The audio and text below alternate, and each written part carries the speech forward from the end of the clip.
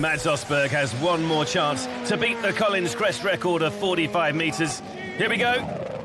Oh, surely 42 metres in the first pass, and that was even bigger, but it's still not enough. News filtering through of Ostberg's final effort. It was spectacular and close, but it's just short of Brynildsen's record again.